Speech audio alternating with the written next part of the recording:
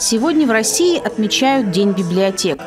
Это профессиональный праздник тех, кто хранит книги и знакомит с ними читателей. Библиотекари поздравили сегодня и в Новосибирске. Город начинался с библиотеки, и только после этого он стал городом. В нашей конторе Будагова первая была библиотека. И именно тогда из всего лишь поселка Новосибирск стал Новосибирском. Потому что библиотека является как раз вот тем центром, где рождается культура. И культура именно оттуда идет к людям. В Новосибирске сейчас работают 72 библиотеки. Они объединены в большую сеть. В наши дни это не только место, где можно найти нужную книгу. Многие библиотеки – это современные информационные центры. В них есть компьютеры и доступ в интернет. Здесь могут работать студенты и школьники.